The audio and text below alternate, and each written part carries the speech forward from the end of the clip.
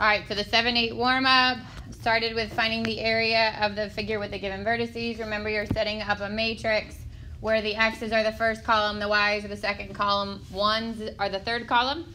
And then you're finding the determinant. The determinant was 30, negative 35. You always want your area to be positive. So if it's negative, you change it to positive, and then you multiply by half. You should have gotten 35 uh, divided by 2, or you could have gotten 17 and 1 half, or you could have gotten 17.5. Any of those answers will work for that, okay?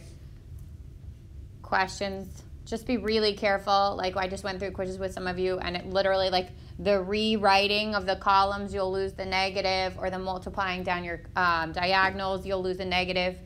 I am going to let you use a scientific calculator on this, okay? But just be careful because even in there, you're going to you can type it in wrong and then you get the wrong answer.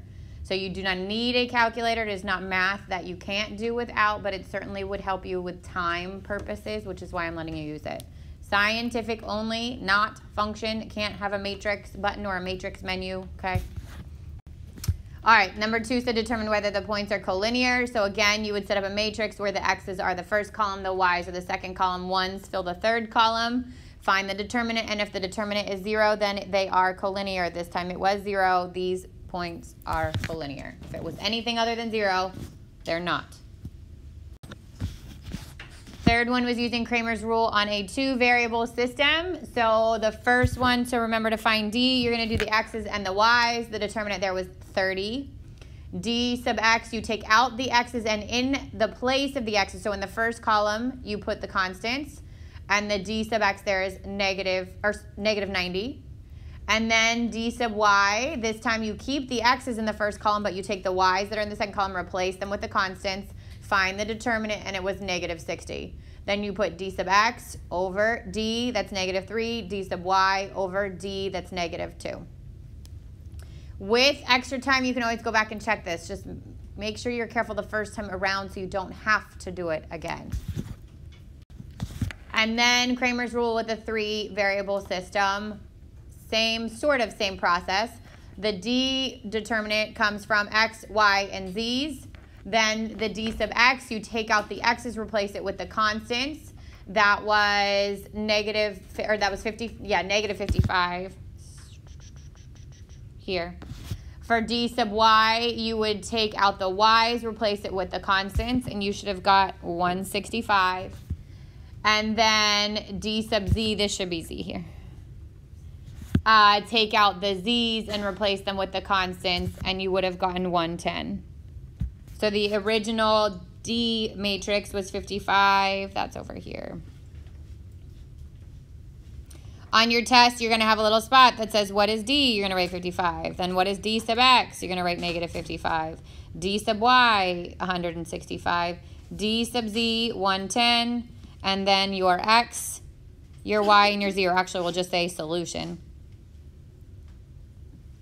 So you'll take that 55, negative 55 divided by 55, that's negative 1. You'll take that 165 divided by 55, that's 3. And you'll take the 110 divided by 55, and that's 2. Again, the calculator is going to help you with the speed on this one. Hopefully catch some mistakes, but you got to be really, really careful in the setup because no calculator can save you from a setup error. Like if you write the wrong part, wrong number to begin with and you go to type that in the calculator, obviously it's not going to get caught questions on the warm-up or questions on the homework.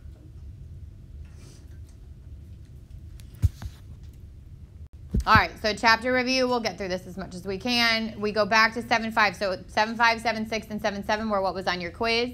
Okay, 7.5 was addition, subtraction, and multiplication of matrices. Remember that addition and subtraction can only be done if they are the exact same dimensions.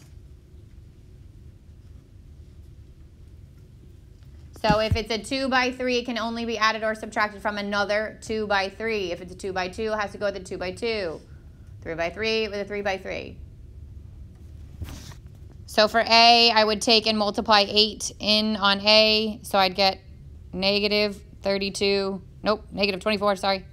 Negative 24, 16, 32, and 8. And then you would subtract from it 2B.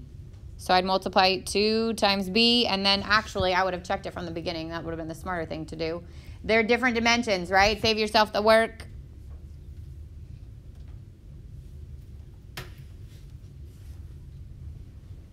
Okay, and if it says explain why, then the answer is because they are different dimensions.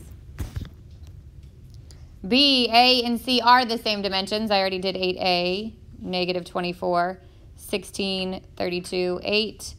And then 2 times C, you can either multiply a negative 2 and then add them, or you can multiply a positive 2 and subtract. So totally up to you.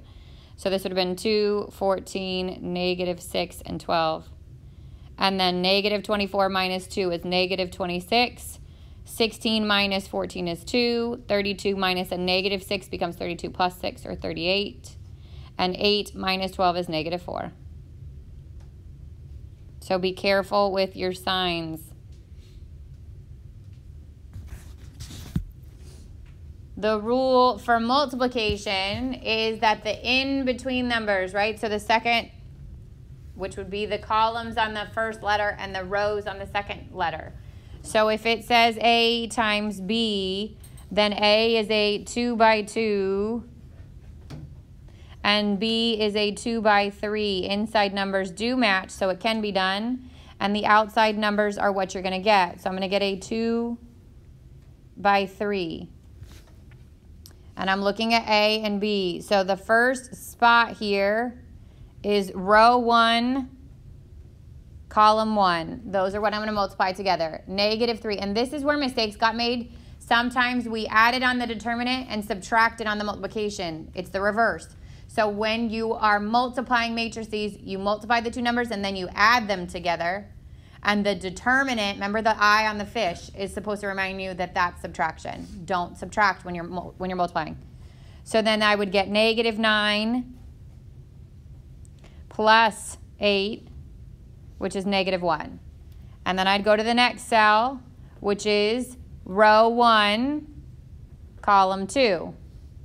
So I'd get negative 3 times negative 1, which is 3, plus 2 times 5, which is 10. That's 13 and then I'd go to the next spot, which is row 1, column 3. Now multiplying row 1 by column 3, which would be 0 plus the negative 4 or minus 4, which is negative 4.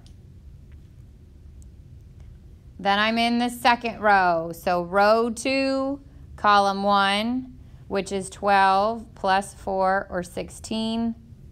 Row 2, oops, sorry, row 2, column 2, negative 4 plus 5, which is 1.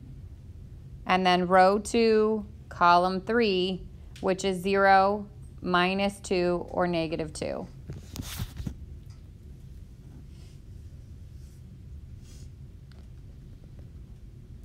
A and C, that's a 2 by 2 and a 2 by 2. Inside numbers do match. This can be done.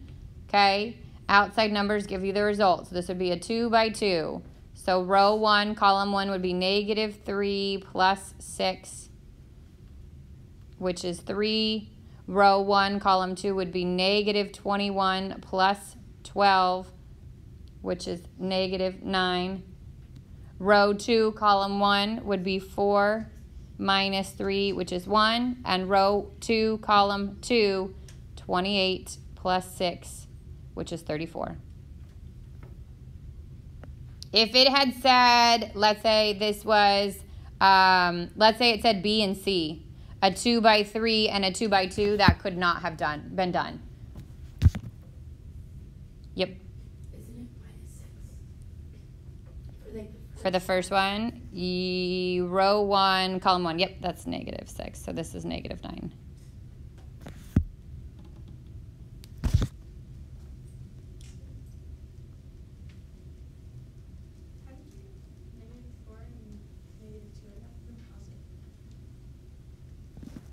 For for which oh when you the, the go back. Okay then came 7 6 okay inverse of a matrix. So when you're finding the inverse of a 2 by 2 this is 1 over the determinant and some of you forgot to put it under 1 for your quiz so be careful. And then you switch the D and the A and you negate the B and the C or change the signs on the B and the C so determinant would be negative 2 times negative 3 minus 6 times 5, or 6 minus 30, which is negative 24. And then I do 1 over negative 24 times switch the A and the D, so the negative 3 and the negative 2 switch positions. Change the signs on the 5 and the 6, they would both become negative. Distribute that in, so it would be negative 2 over negative 24, which is 2 over 24. Negative 5 over negative 24 is 5 over 24. Negative 6 over 24, positive 6 over 24, and negative 3 over 24, 3 over 24. And then they must be simplified. So 1 12th, 5 24ths, 1 fourth, and 1 eighth.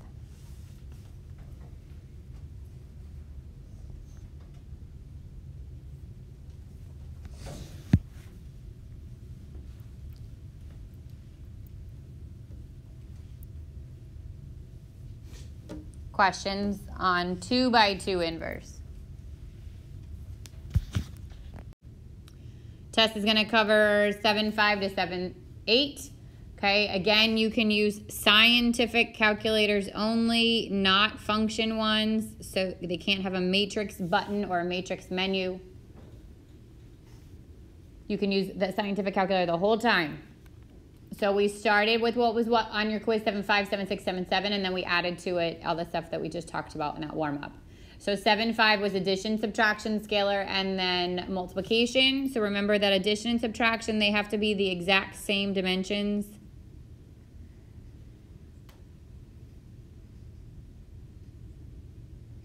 Dimensions are rows by column. So if you look at example A here, it says 8A minus 2B. Before I even start that work, I would look at A and I would look at B and see if I can combine these. A is a 2 by 2. B is a 3 by 2. Those don't have the same dimensions, so you can't even do A. And if it asks why, it's they have different dimensions.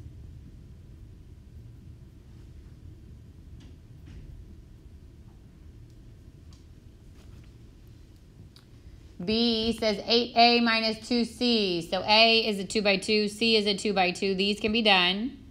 I would start by multiplying everything in A by 8. So I'd get negative 24, 16, 32, 8. And then you can either distribute in a positive 2 and subtract, which would be 2, 14, negative 6, 12. Or you can distribute in a negative 2 and add. Totally up to you. Obviously, whichever one makes the most sense for you is what you want to do. So negative 24 minus 2 would be negative 26. 16 minus 14 is 2. 32 minus a negative 6 becomes 32 plus 6 or 38. And 8 minus 12 is negative 4.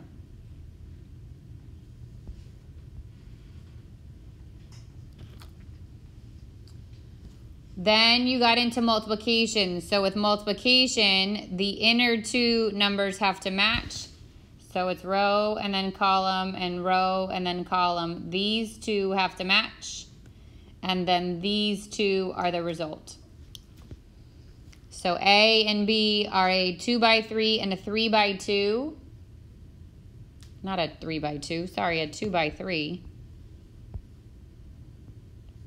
You still wouldn't have been able to do A, but this is a 2 by 3. So the inner two do match, which means the outer two would be my result. A two row, three column, where the first one is row one, column one. I'm going to do row one, column one. And the mistakes made, I would say, between the multiplication and when you got to determine it is sometimes you subtracted the multiplication and added the determinant. It's the other way around. So when you go to find the multiplication, you are multiplying these and then adding them together. So negative 3 times 3 would be negative 9. And then negative 9. And then 2 times 4 is 8. So negative 9 plus 8 is negative 1. Then you'd go row 1, column 2. Negative 3 times negative 1 is 3. 2 times 5 is 10. That's 13. And then you do row one, column three, negative three times zero is zero, and two times negative two is negative four, which is negative four. Then you're to repeat that whole process, but for row two. Row two, column one, would be 4 times 3, which is 12, plus 4, that's 16. Row two, column two, would be negative 4 plus 5, which is 1. Row 2, column 3 is 0 minus 2, which is negative 2.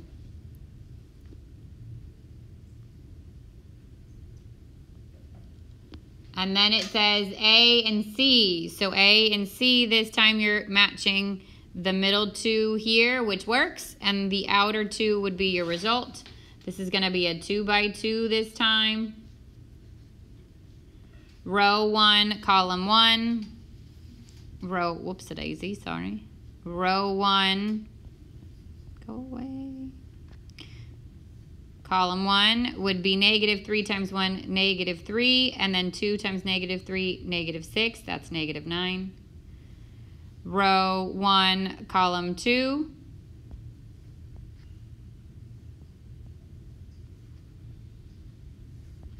would be negative 21 plus 12, which is negative 9.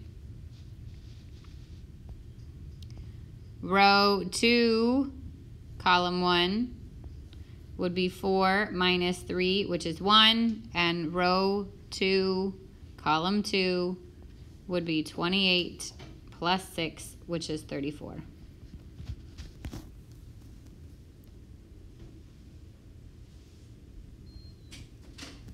If it had said, let's say it said um, B, C, okay, B and C, the integer numbers wouldn't have worked. This could not have been done. So just make sure you check it before you work all the way through it. And make sure you differentiate between adding and subtracting. Those have to be the same dimensions. Multiplying the inner two have to match outer two is the result. And it's always rows, then columns. Questions on any of those? Just be really careful with your signs and your multiplication and show your work. If you want some partial credit, you got to show some work. All right, 7, 6, inverse of a matrix. So this was a 2 by 2, okay? Remember, this is 1 over the determinant times we switch the A and the D and we change the sign on the B and the C. Some people found the determinant, put it, didn't put it under 1, okay? Some people switched the wrong signs or the wrong locations. So for this one, you're doing your little fish. Negative 2 times negative 3 would be 6 minus 6 times 5 is 30. That's negative 24. So it's 1 over negative 24 times switch A and D, which are the negative 3 and the negative 2. Change the signs on B and C, which is the 5 and the 6. Distribute that 1 over 24, or negative 1 24ths in, and I'd get 2 24ths 5 24ths, 6 24ths, and 3 24ths. And then they have to be reduced. So that would be 1 12th, 5 24ths, 1 4th, and 1 8th.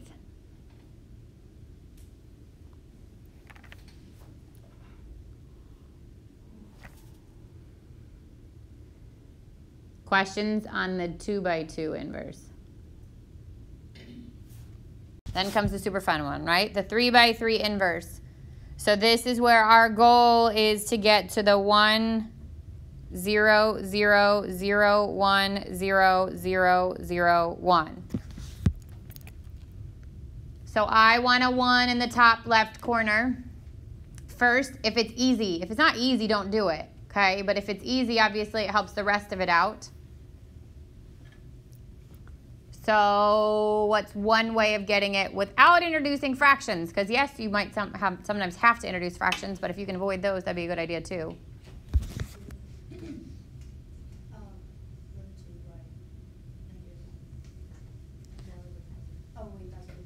That'll get the zero. It will get the zero though.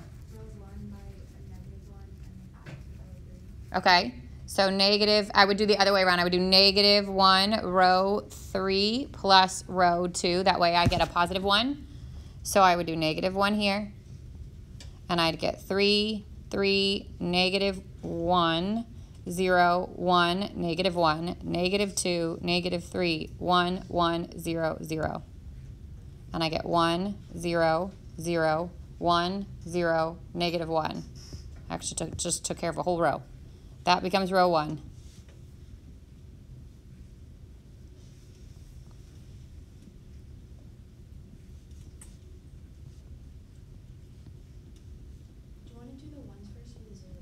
So honestly, it doesn't, besides that top one being a one, what that helps you with is get that first column. So it's easy to just multiply and get the opposite if it's a one.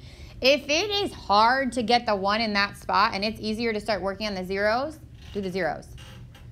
The other rule of thumb is don't get a zero, don't get a one in a row before you get the zeros other than that first one. So like I don't want to get, make four a one before I get the zero here and the zero here.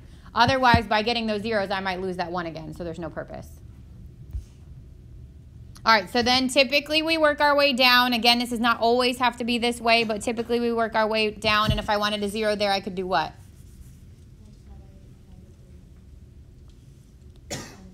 Oh, you're so you're doing the zero here, right? Yeah. yeah so I'm going to do, like, that's fine to go with that order, but I'm going to do the negative 2 first. So I could do row 1 by 2, right?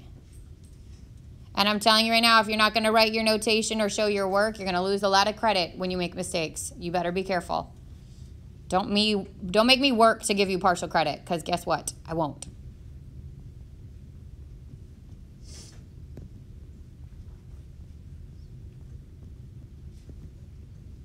Okay, that's going to take row 1. I mean row two's place.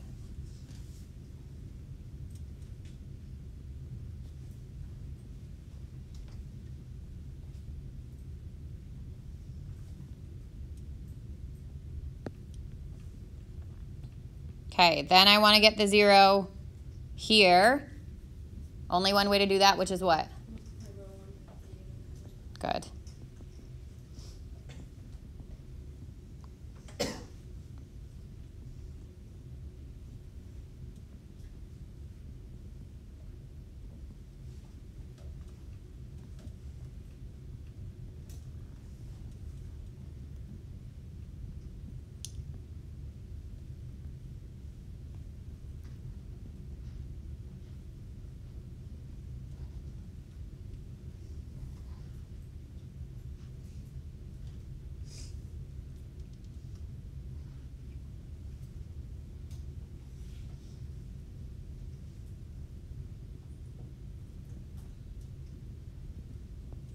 Then I can get a zero here. I could get a zero here. I could, the other zeros are already taken care of you for you on the top. I could get a zero there. The order in which you do those, I'm sorry, I don't want a zero. Here, okay? I only have those two left to get. And the order in which you do those, it really doesn't matter. As long as I don't change that, like as long as I don't try to get a one in the row before I get the zero, the order in which you get the zeros doesn't really matter, okay? We tend to do the same pattern just because you guys are comfortable with patterns, but it doesn't mean you can't move it around. So which of those two zeros to be easier to get from this spot? The second one, right? Like where the one is. How could I do that? Multiply either row 1 or row 2 by negative 1 and add them, yes? So let's try negative 1 times row 2 plus row 3.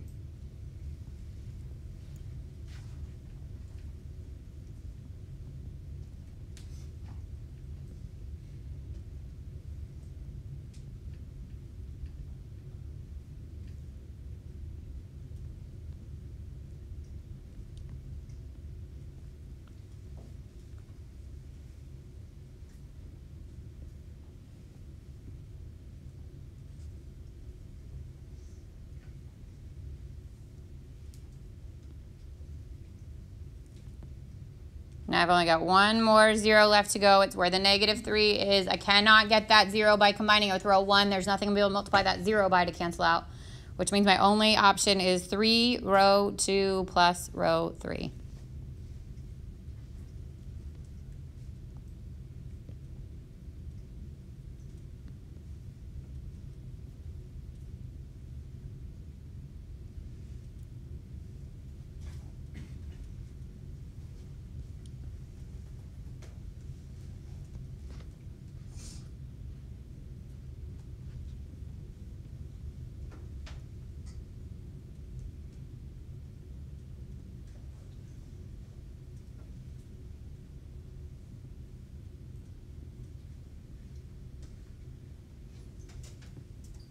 Once I get the left side with that pattern, 1, 0, 0, 0, 1, 0, 0, 0, 1, then the right side only, this part is my answer. So 1, 0, negative 1, 1, negative 1, 0, and 6, negative 3, negative 2 is the inverse to that matrix. you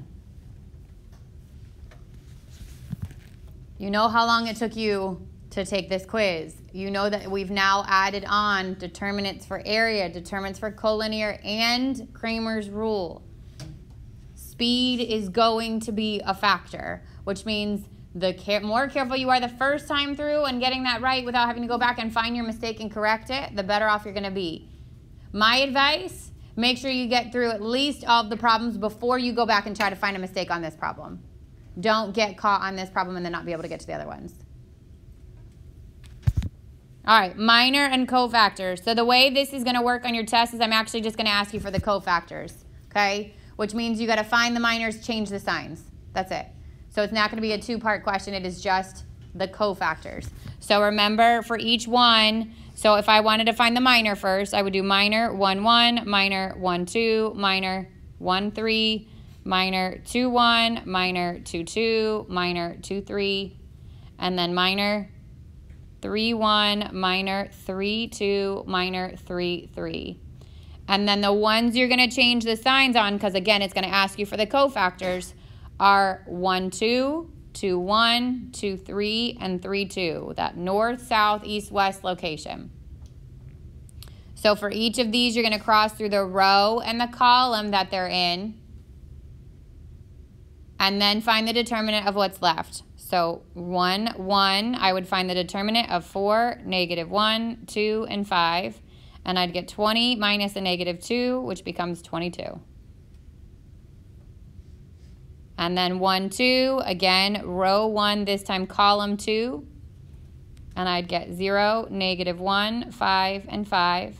0 minus a negative 5 becomes plus 5. That's 5. The cofactor to that's going to be a negative 5.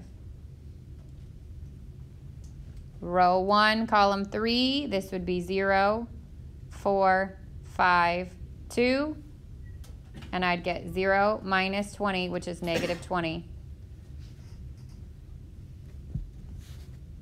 Then I'd be doing row 2, row 2, column 1, and that's negative 2, 3, 2, 5. That's negative 10 minus 6, negative 16. Row 2, column 2, that's 1, 3, 5, 5. And I'd get 5 minus 15, which is negative 10. Row 2, column 3, 1, negative 2, 5, 2. 2 minus the negative 10 becomes 2 plus 2, 2 plus 10, which is 12. And the negative 16 and 12 are the ones you would change your sign on for your cofactor. And then third row, first column, this would be negative 2, 3, 4, negative 1. I'd get 2 minus 12, which is negative 10 row 3, column 2 would be 1, 3, 0, negative 1. I'd get negative 1 minus 0, which is negative 1. That one would change signs when I do the cofactor. And then row 3, column 3, and it'd be 1, negative 2, 0, and 4. 4 minus 0, which is 4.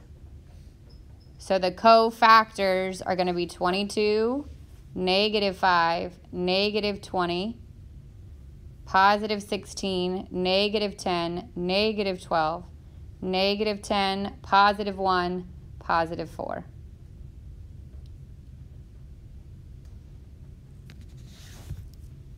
So you could be asked for all of the cofactors or you actually could just be asked for one cofactor. So if I just said cofactor 3, 2, then you'd have to know you're crossing through row 3, column 2, finding the determinant of what's left, which is that negative 1, and then knowing that the location of 3, 2 is one I change signs on. So just be careful because to determine on time, I may just do a couple of them. I might do the whole thing. I'm not I'm not 100% sure yet.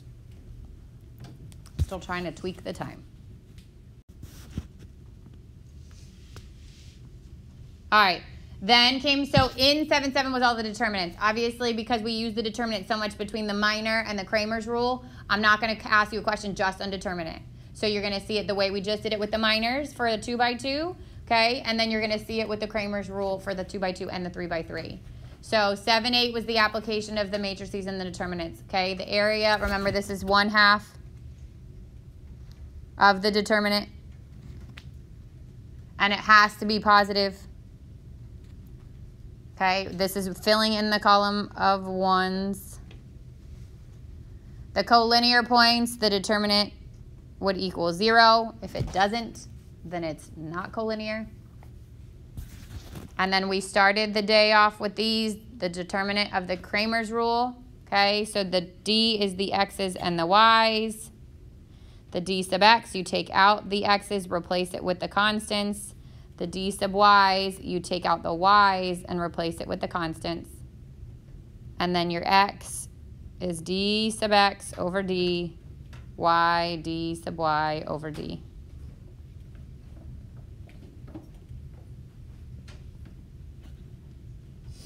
and the three threes we also started the day with.